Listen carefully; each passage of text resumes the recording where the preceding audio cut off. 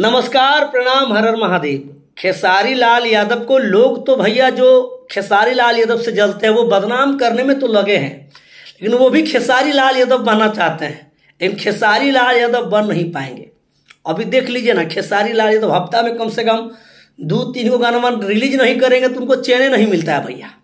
जी हाँ वो नागिन गाना आया। नागिन गाना के बाद अभी को और एस के म्यूज़िक से पोस्टर आ गया है। गाने का टाइटल आपको बता दे रहे हैं चूल्ही में चैली, इस टाइप से गाना है। अब इधर आज ही वर्ल्ड वाइड रिकॉर्ड से भैया, एगो फ़िल्म का अनाउंसमेंट भी कर दिया गया है वीर हनुमान। मैंने धनिया बुन के रख दिए हैं खेसारी लाल यादव।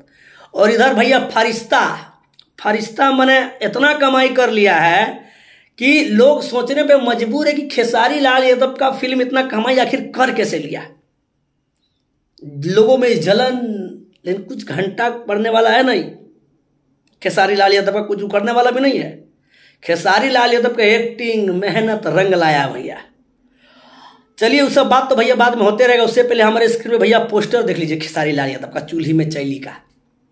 पोस्टर कैसा लगा कमेंट बॉक्स में बताइएगा और कल सुबह भैया एस के म्यूज़िक पर तैयार रहिएगा। जी हाँ छोटू जी का म्यूज़िक है बिक्की बॉस का शायद म्यूज़िक है। और सपना चौहान भैया इस गाने में एक्ट्रेस है। कुछ नया, कुछ अलग करने का प्रयास किए खेसारी लाल यादव अब गाना कैसा है, नहीं है तो सुबह पता चलेगा। बाकी फिर मिलता है अगली वीडियो में। नए वीडियो के साथ, तब तक के लिए जय श्री राम, धन्यवाद। I love you